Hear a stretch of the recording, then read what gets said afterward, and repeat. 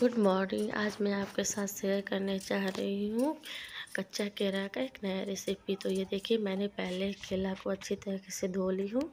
धो लेने के बाद मैं इसको अच्छी तरीके से इसका छिलका हटा दूँगी। तो देखिए किस तरह से मैं इसको हटा रही हूँ छिलके। छिलका हटाने के बाद मैं इसको एक तरफ़ मैं ऑयल रख दी हूँ गर्म होने के लिए ऑयल उस तब तक उधर गर्म हो रहा है जब तक हम इसका पूरा अच्छी तरीके से क्लीन कर लेंगे। और हाँ आप कोई भी तेल यूज़ कर सकते हैं जो आप खाते हो, वही तेल आप यूज़ कर लें। इसमें कोई स्पेशल नहीं है। तो ये देखिए हमारा केला छिल गया है। अब हम क्या करेंगे चिप्स कटर से इसको अच्छी तरह से ऑयल में कटिंग करेंगे। हाँ ऑयल का टेम्परेचर ज़्यादा हीट भी नहीं होना चाहिए, ना ही कम होना चाहिए।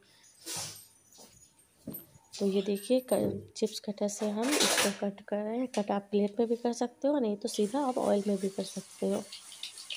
तो हमारा चिप्स तरह से बन रहा है। उसके बाद हम इसे क्या करेंगे, धीरे धीरे बीच बीच में चलाते रहेंगे ताकि ये चिप्स से एक चिपके नहीं।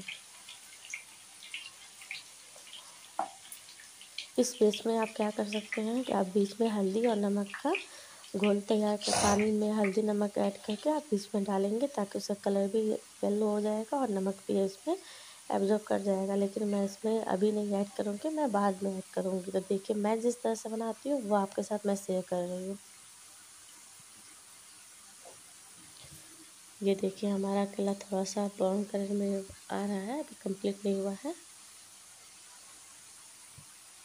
इस तरह से हम बीच बीच में चलाते रहेंगे।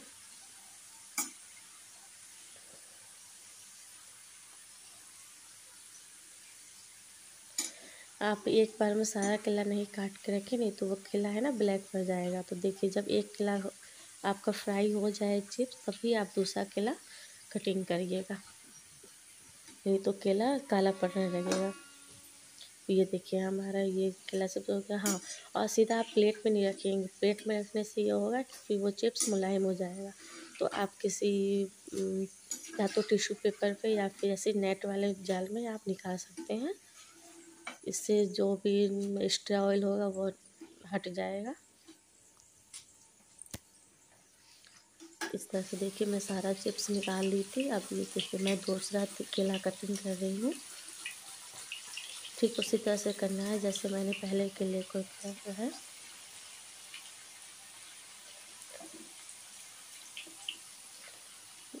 इसे बीच बीच में चलाते रहना है। ये देखिए इस तरह से हमारा दूसरा केला भी फ्राई हो रहा है।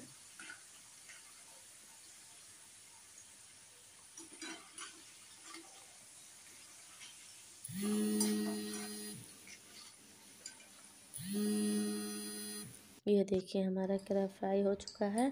अब हम इसमें ऐड करेंगे कुछ मसाले। मैं इसमें ऐड कर रही हूँ काला नमक, चाट मसाला एंड लाल मिर्च पाउडर इसको ऐड करूँगी। ये देखिए कितना अच्छे से ये बन चुका है। ये देखिए, इसका साउंड आप सुन ही रहे होंगे। कितना करा क्रैप्सी करारा सा है, क्रंची सा है ये।